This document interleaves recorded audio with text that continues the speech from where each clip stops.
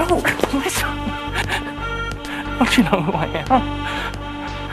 I'm not Davis. I'm Patrick Bateman. You're my lawyer. Listen very, very carefully. I killed Paul Allen. But that's simply not possible. Why isn't it possible? It's just not. Why not, you stupid bastard? Because I had dinner with Paul Allen twice in London. So No, you didn't. South